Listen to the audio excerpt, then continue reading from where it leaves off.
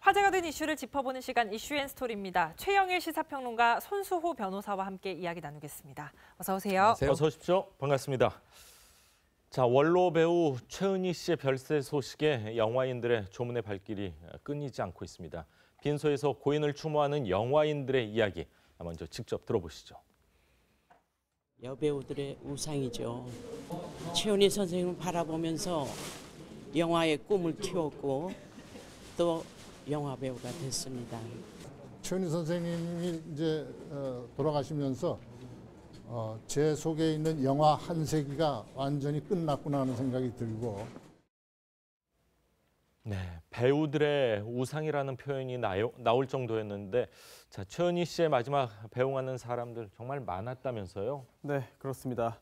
어, 이장호 예. 감독이었고요. 그리고 또 김동우 전 부산국제영화제 집행위원장 또 이제 자리를 찾았습니다. 그리고 또 정혜선 씨, 윤일봉 씨 등 원로 배우도 아, 빈소를 아, 찾았는데요.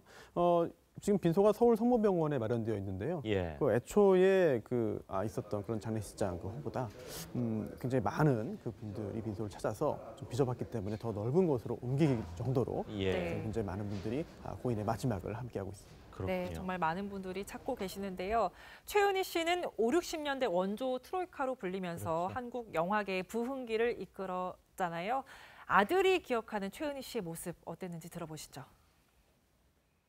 항상 연기에 대한 이제 어, 꿈과 열정은 놓칠 못하셨죠. 아 나도 할 수 있는데 나도 할 수 있는데 하는 말씀을 줄곧 하셨고 어, 돌아가시는 날까지는 어머니는 여배우셨어요. 조문을 하러 오신 원로 영화 배우분들이 참 많았는데 이 최은희 씨를 기억하면서 과거 얘기도 좀 털어놓으셨습니다. 네, 맞습니다. 그 과거 얘기를 하자면 그 최은희 씨와 김지미 씨의 아, 성춘향, 그 대결. 춘향 대결이 굉장히 네네네. 유명했잖아요. 그러니까 고전 중에 뭐 이 여배우가 최고의 기량을 뽐낼 수 있는 게 이 춘향전 아니겠습니까? 그렇죠. 변학도에게 그 변고를 치르면서 이몽룡에게 일편단심 기다리는 그 이야기 모두 한국인의 신금을 울렸죠. 61년도에 예. 춘향이 영화가 두 편이 개봉됩니다. 맞습니다. 네. 예, 홍성기 감독과 김지미 씨가 팀이 된 음. 춘향전이 전. 있었고요. 그리고 바로 신상옥 감독과 이 최은희 씨 주연의 이 성춘향이 맞습니다. 동시 개봉을 한 거예요. 원래 춘향전으로 하고 싶었는데 예. 춘향전이 개봉되니까 성춘향으로 바꿨겠죠. 그런데 이 두 개의 이 흥행 격돌이 세간의 관심이었는데 음. 성춘향이 압승입니다. 압승. 그러니까 이 38만 명이 봤어요. 예. 서울에서만. 당 서울 그 당시 인구가 한 200, 250만 명. 250만 명이었으니까. 일곱 명 중에 한 명은 예. 이 성춘향을 봤다. 네. 근데 이제 아주 재밌는 것은 이때 최은희 씨 나이가 35 그리고 김진규 씨가 37 이몽룡으로 역대 최고령 이 이몽룡과 성춘향인데 예. 네. 압도적인 흥행 성과를 내면서 어제 빈소에서도 아까 잠깐 인터뷰에 비친 이장호 감독이 예. 이 당시의 이야기를 또 하면서 음. 과거를 회고하기도 했고요. 엄앵란 씨가 한 이야기가 좀 가슴에 와- 와서 박혔는데 거룩해 보였다. 예. 성인에게나 쓰는 그런 표현이죠. 거룩해 음. 보였다.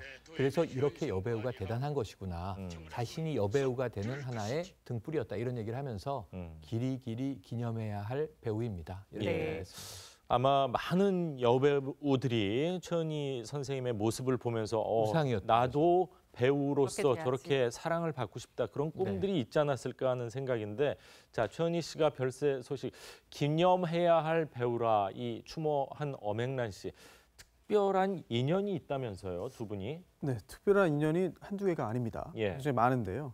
우선 그 엄앵란 씨의 배우자가 역시 함께 배우 활동을 했던 신성일 씨죠. 그렇죠 그런데 이 신성일 씨가 본명은 따로 있습니다. 신성일은 예명이고 본명은 이제 강신영인데요. 예 정치 활동할 때는 또 강신성일이라는 이름을 썼죠. 그렇죠. 근데 이 신성일이라는 예명을 지어준 게 누구냐? 예. 바로 이제 그 신상옥 최은희 부부가 이 신성일 이름을 지어줬다고 합니다. 그렇습니까 네. 이게 참큰 인연이죠. 근데 그게 끝이 아닙니다.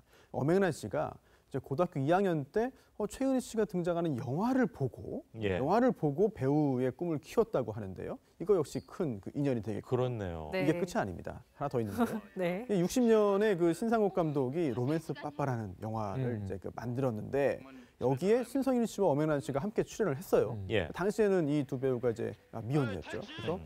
이 영화 출연한 그 계기로 해서 실제로 결혼까지 이어졌다고 하니까요. 네. 이름 뭐 남편의 이름도 지어주고 또 이제 결혼까지 또 이제 연결해주는 대단한 인연이 아닐 수 없겠습니다. 그렇네요. 최은희 씨는 정말 화려한 삶을 사셨던 것 같은데 이 북한에 납치됐다는 네, 그런 네. 사연도 있습니다. 그 1984년 안기부 문서가 공개되면서 네. 이 납치된 배경이 드러났는데 어떤 내용입니까? 그러니까 이 전까지는 북한에 78년에 납북이 됐다가 그리고 다시 이제 망명처럼 도망 나오잖아요. 오스트리아 빈에서. 그랬는데 이 납북이 아니라 자진월북 아니냐 음. 이 비난에 시달려야 했어요. 그래서 99년까지 미국에서 살았는데 예. 이 안기부 문서가 공개가 되면서 확실한 납북으로 확인이 됐고요. 최근에는 우리가 이, 이 연인과 독재자란 영화를 통해서 예. 김정일의 육성을 들어보니 이건 뭐 확실한 납치 아닙니까? 계획 납치죠. 그런데 이 안기부 문서에 놀라운 점이 여러 개가 있습니다. 75년에 이때는 김정일이 위원장이 아니었고요. 대남 공작 부서를 관장하는 황태자라고 우리가 불렀습니다. 그러면서 자 남조선의 여배우와 예. 영화인들을 데려다가 네. 북조선의 영화를 좀 키워야 되겠다 이런 계획을 세웁니다. 예. 그러면서 그럼 이 남한에서 가장 당대에 인기 있고 매력적인 여배우가 누구냐 그랬는데 처음에는 윤정희 씨를 찍은 거예요. 그렇죠. 네. 그래서 예. 77년도에 이 즉 당시에는 유고슬라비아 음. 자그레브에서 납치를 시도하지만 실패합니다. 예. 윤정희 부부는 또 이 남편분이 세계적인 피아니스트 피아니스트죠. 백건우시잖아요. 예. 그런데 이 부부 납치에 실패하고 그 다음 해에 이제 홍콩에서 성공한 게 음. 최은희 씨였던 거고요. 예. 신상욱 감독은 제발로 홍콩을 찾으러 갔다가 똑같은 함정에 빠져서 결국은 부부가 다 음. 어, 납북이 되는 비극적인 상황을 겪었는데 예. 그 8년 이제 북한에서 영화를 17편을 만듭니다. 이 김정일의 상당한 또 이제 여러 가지 후원이 예. 있었겠죠. 네. 어, 예. 찬사를 받습니다. 하지만 자유를 이 그리워하는 마음을 어쩌지 못하고 예. 결국은 다시 이제 서방 세계로 돌아오면서 음. 이 welcome to West 이렇게 얘기했다는 거 아닙니까? 당시 미국 대사관에서 어, 아주 파란만장한 인생의 예. 가장 하이라이트를 찍었는데 음. 이두 사람에게는 가장 비극적인 시절이었던 것도 사실이죠. 예. 네. 정말 영화보다 더 영화 맞습니다. 같은 삶을 사셨는데 아, 정말 마지막도 여전히 빛나고 있습니다. 고인이 된 최은희 씨가요. 이 뜻에 따라서 안구 기증 절차가 진행된다고 하는데 아, 최은희 씨가 장기 기증 홍보 대사로 음. 활동을 하셨다면서요? 네, 그렇습니다. 어, 이제 아들이 있죠. 이제 아들이 그 이야기를 했는데요. 아, 모친이 이제 그 안구 기증을 이제 서약하고 예. 또 장기 기증 절차를 이제 그 이행을 했다 라고 음. 했는데요. 어, 2010년에 안구 기증을 서약했습니다. 예. 어, 그러면서 천주교 한마음 한몸 운동본부 장기 기증 홍보대사로도 활동을 했는데요. 네. 어, 이제 고인이 어, 생전에 그 소아 세례다 소아 대례사라는 그런 그 세례명을 가지고 있는 그 천주 교인이었는데요. 예. 그러다 보니까 이번에도 염수정 추기경이 아, 애도 메시지를 전했습니다. 어, 2010년에 그 고인이 어, 당시에 그 안구 기증 서약을 하면서 이런 말을 했습니다. 내 생을 정리하면서 뭔가 뜻깊은 일을 하고 싶었다. 라고 이런 말을 했는데요. 당시에는 이제 그 서울 대교구장이 정진석 추기경이었는데요. 예. 정진석 정진석 추기경으로부터 아, 이제 홍보대사 위촉패를 받았고 그 후에도 아, 이제 안구 기증 아, 등을 등 관련해서 여러 가지 활동을 한 바 있습니다. 예. 네. 최은희 씨가 안구 기증을 한 데는 어, 자신의 어머니 영향이 굉장히 컸다고 하는데요. 자 고인이 되신 최은희 씨의 목소리 한번 직접 들어보시죠. 어렸을 때 우리 어머니한테 늘 들은 게 예, 사람이라는 게 죽으면 다 이거 썩는 거란다. 이 영원한 게 아니란다. 그런 얘기를 해 주신 적이 있어요. 내 하나 뭐 이렇게 보탬으로 해서 정말 생명을 건질 수 있고 또 광명을 얻을 수 있고 그러면 얼마나 좋은 일이에요. 네, 영화 여러 작품에서 최은희 씨와 호흡을 맞췄던 배우 신영균 씨도 예, 애통한 마음을 감추지 예. 못했습니다. 신영균 씨의 영상 편지도 보시죠. 어, 제 여사 하늘나라에 가서 기다리고 있는 신 감독 잘 만나서 거기서 신필님을 설립하세요. 같이 한번 또 출연합시다. 네, 다시 한번 삼가 고인의 명복을 빕니다. 또 유족에게 위로의 말씀을 전합니다. 자, 다음 주제로 이어가도록 하겠습니다. 아, 국민 아버지로 불리는 원로 배우시죠 최불암 씨가 무려 25년 만에 연극 무대에 이 돌아와서 화제가 아, 되고 있다면서요? 네, 이 25년 만 연극 무대는 25년 만입니다. 예. 93년에 어느 아버지의 죽음 이게 연극 무대에 오른 게 마지막이었는데 이게 아서 밀러 원작의 세일즈맨의 죽음을 각색한 작품이었어요. 오, 네. 그리고 드라마는 2014년에 은퇴를 했는데 이 최불암 씨는 한국인의 밥상에 출연하고 계시잖아요. 예. 드라마는 이제 그만하시지만 은퇴가 아니고 물러난 것이다. 왜 물러났는지를 물어봤어요 후배들이. 그런데 촬영 현장에서 이게 PD와 그러니까 연출자와 어찌 보면 많은 사람들이 자신의 눈치를 보더라. 음. 그럼 난 더 이상 발전이 없는 거다. 예. 내가 일개 출연 배우인데 내 눈치를 보면서 불편하게 작업을 한다면 음. 내가 빠지는 게 옳지 않겠나 하고 생각을 해서 빠졌다는 건데 대단하시네요. 대단한 정신입니다. 예. 네. 그런데 이번 연극 무대에 복귀하는 것도 2016년에 이 연극의 원전이 있었어요. 아인슈타인의 별이라는 연극을 보고 감명을 본인이 받으신 거예요. 이 대단한 작품이다. 이런 작품이라면 메시지가 있는데 한번 무대에 오르고 싶다. 그것을 각색한 연극. 자, 바람 불 때 별은 흔들리고라는 작품에 이번에 노인 역으로 출연을 하게 되는 겁니다. 예. 네. 사실 59년 차시라서 오랜만에 무대 여도 좀 안 떨리실 것 같았는데 네. 좀 긴장이 됐다고 하시거든요. 인터뷰 한번 들어보시죠. 어, 이거, 야, 이거 실수 안 할까? 이 나이 먹으니까 금방 잊어버려요. 그 타이밍을 내가 제대로 맞출 수 있는 것일까? 건강한 유지될 것인가? 이런 생각도 해보고요. 밤에 제, 제대로 잠을 못 자겠어요. 대사도 죽어주고 저게 먼 길이니까 해보고.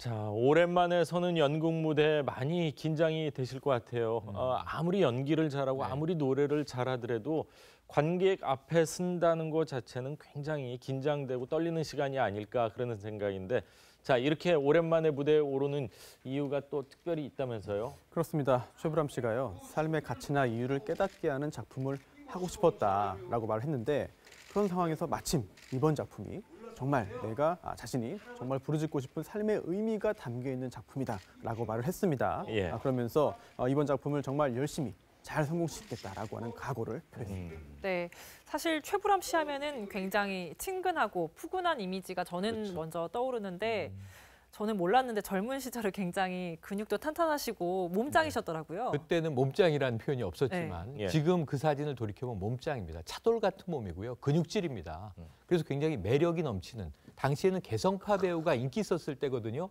그러니까 예. 얼굴이 뭐 아주 이 미남자가 아니어도 훈남이잖아요. 음. 그래서 이제 저런 이 모습으로 굉장히 인기를 얻었는데 한국인의 머릿속에는 최불암 씨가 두 개의 상으로 나뉘어 있어요. 예. 전원일기의 아버지. 수사반장. 수사반장의 그 강력한 끝까지 범죄자를 검거한 수사반장. 예. 둘 다 강인한 쪽인데 하나는 그야말로 정의로운 이 예. 이미지고 하나는 인자한 이미지거든요. 예.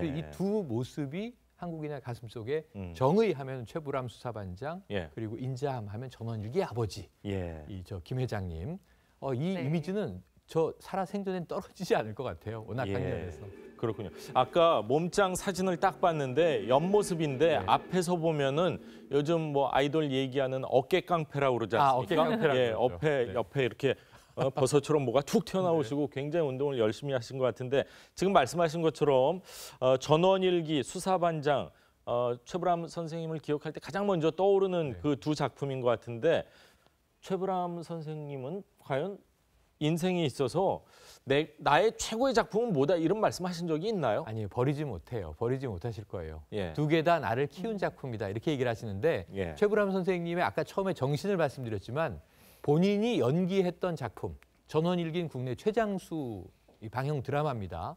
또 가장 강렬 수사반장은 처음에 시그널이 영화 살인의 추억에도 등장할 정도로 그렇죠. 네. 아주 이제 이 유명한 그런 라면, 작품입니다. 라면 먹을 때 네. 음악이 딱 흐르지 않습니까? 다다다다단 다다다다단 이렇게 나오지 않습니까? 예. 그런데 그것을 거, 거기 연연하지 않으세요. 앞으로도 도전하겠다는 거예요. 이번 연극 바람 불어 별이 흔들릴 때 무대 오르는 각오를 예. 다리몽댕이가 부러져도 해야지 이렇게 얘기를 하셨는데 무대가 높고 어두워서 무대 올라가고 내려갈 때 79세십니다. 우리 나이로 치면. 예. 그런데 지금 대사 잊어버릴까 대사 계속 외야죠. 음. 또 상대 배우와 합을 맞추면서 타이밍 맞춰야죠. 예. 무대 오르고 내리는 동선 따져야죠. 또 혹시 낙상할까 이런 걱정을 하시는 거예요. 그렇네요. 그래서 내가 몸이 상하더라도 음. 이번 무대를 놓칠 수 없다. 그 열정은 그 열정으로 해왔기 때문에 거의 출연하신 모든 드라마와 작품들이 예. 대성공을 거두고 음. 한국인의 심금을 울린 것 아닐까 생각해 봅니다. 네. 수사반장 저희가 화면을 잠시 봤지만 네. 반장님은 지금 건강하게 연극 무대에 서고 계시는데 수사 대원으로 열심히 활동하셨던 분들은 벌써 또 형사들은 한 분도 한 분 돌아가셨어요. 맞습니다. 네. 그- 그 빈소를 지키면서 반장으로서의 애환을 예. 또 조문하면서 남긴 바도 많이 있으시죠. 예. 요즘 뭐 한국인의 밥상도 많은 사랑을 받고 있습니다. 그리고 최불암 씨를 드라마에서 보고 싶다 이런 성원이 제가 보기엔 좀 있으면 예. 청와대 국민청원에 올라올 수도. 그럴 수도 있을 것 같아요. 근데 이번 연극은 정말 봐야 되는 작품인데 연극 무대는 직접 볼 수 있어서 좋고 NG가 없는 거 아닙니까? 실수하면 끝입니다. 네. 그런데 문제는 많은 분이 보기는 어려워요. 그러다 보니까 그렇죠. 브라운관으로 최불암 선생을 복귀시켜라. 이번 연극 성공적으로 마치시면 네. 또 아주 좋은 드라마도 하나 선택하지 않으실까 기대를 해봅니다. 대신 뭐 연극에서는 생생한 호흡을 또 느낄 수 그렇죠, 있으니까 그렇죠. 그런 매력에 또 찾는 분들도 많을 것 같습니다. 예. 최불암 씨가 전원일기로 국민 아버지 이미지를 얻었다면요. 이 김혜자 씨도 역시 국민 엄마로 많은 분들에게 기억되고 있습니다. 이 주변 배우들이 하는 전원일기 이야기 한번 들어보시죠. 가장 기억에 남는 건 전원일기에서 네, 이장님 사모님이시죠. 네. 드라마에서 한번 해보고 싶었는데 최불암 선생이 독식을 해갖고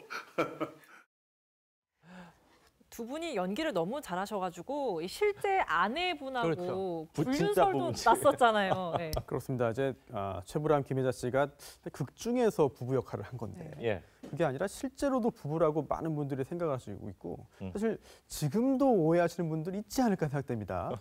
그 또 저널 얘기에는 이 아, 최불암 김혜자 씨 부부 역 뿐만 아니라 사실 다른 그런 그 고두심 씨나 어. 김용건 씨 등도 예. 실제 부부 아니냐는 그런 오해를 많이 받았는데요. 그러다 보니까 실제 아내였던 김민자 씨와 오히려 불륜 관계 아니냐라고 하는 오해를 진짜 받는 부부인데도 네. 불구하고 네. 그런 예. 해프닝이 있었죠.